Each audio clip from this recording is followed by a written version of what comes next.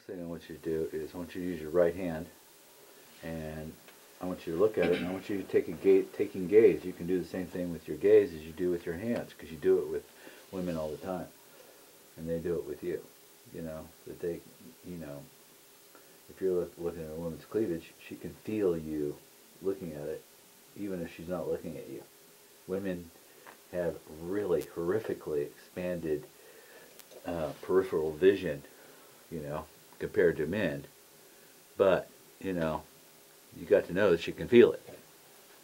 There's no no denying it. Just as surely as you know when a beautiful turned on woman is looking at you and what body part they're looking at you're you. So many people have actually, you know, experienced engorgement and flushing and tingling and